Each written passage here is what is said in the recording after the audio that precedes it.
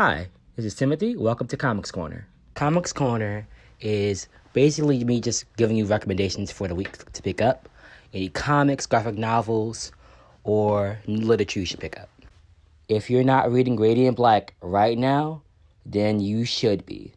Created by Kyle Higgins and Marcelo Costa, Radiant Black subverts the superhero story by making our protagonist a struggling 30 something. Nathan Burnett is a struggling writer who must move back home with his family and, in reconnecting with his best friend, discovers an alien secret. A refreshing, sincere take on superhero tropes. Radiant Black is just the starting point on the trip to the supermassive, the world of Marcelo Costa and Kyle Higgins. If you can, go to your local comic shop and pick up Radiant Black, Volume 1. Or go to your local library and see if they have Radiant Black on the shelf. You won't be disappointed. Enjoy the movies, enjoy musicals, and also pick up a comic if you're ever at a comic book store. This is Tim, and goodbye.